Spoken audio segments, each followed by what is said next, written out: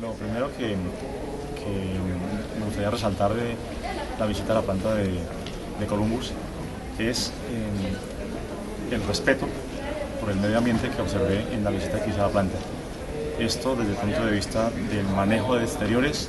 del control de la polución que generalmente una cementera eh, suele producir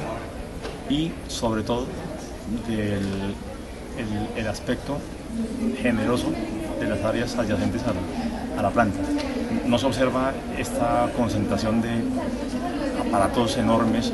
de estructuras eh, enormes en, en, la planta, sino que se observa mucho aire, mucha libertad. Eh, son distancias muy largas, para recorrerlas obviamente a pie es un poco largo, pero se agradece porque por donde vas encuentras siempre prados, arborización, o sea, está muy cuidado y además una limpieza impecable. Me sorprendió gratamente cuando la visité. Lo segundo, eh, insistir en, la importancia que considero que tiene como hito constructivo el edificio Vela, el primer edificio Vela, porque con 140 metros de altura, ningún edificio en Cartagena tiene esa altura y ningún edificio en Colombia tiene hasta ahora esos paneles de GRC para fabricar, eh, digamos, para producir de manera limpia, porque no hay apenas eh, residuos en, en, la obra, ese tipo de, de edificios. Entonces, creo que es un hito, creo que va a marcar tendencia y me parece que va a servir de revulsivo para que nuevas generaciones de arquitectos miren con sumo interés lo que tiene que ver con hacer fachadas cada vez más ligeras, cada vez más limpias y cada vez más responsables ecológicamente hablando. La segunda eh, pregunta, que era la primera anteriormente, que es la del, la qué sueño me permite hacer realidad, eh, hay un sueño que he tenido desde hace ya muchos años y es conseguir que la tecnología del cemento, la alta tecnología del cemento, que para mí en fachadas es el GRC, descienda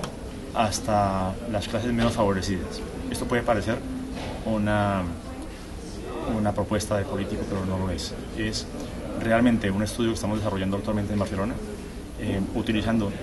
eh, microhormigón reforzado con fibra de vidrio para dar una solución a viviendas de emergencia a gran escala. Esperamos al final del próximo año tener eh, la respuesta al diseño que hemos iniciado eh, de la mano de la industria del cemento y de la mano de la industria de la producción de la manufactura del GRC y conseguir que las personas que hoy día no tienen acceso a una vivienda digna consigan en la alta tecnología del, hormigón, del concreto, una solución a su medida, que es una de las condiciones que nos hemos trazado en el proyecto, y por supuesto de una gran resistencia, porque la casa que pretendemos hacer se debe poder montar en un día o dos como máximo por personas con poca o nula formación constructiva y en cambio debe resistir huracanes de fuerza 4. Entonces ese es el gran sueño que tenemos ahora mismo planteado con el GRC.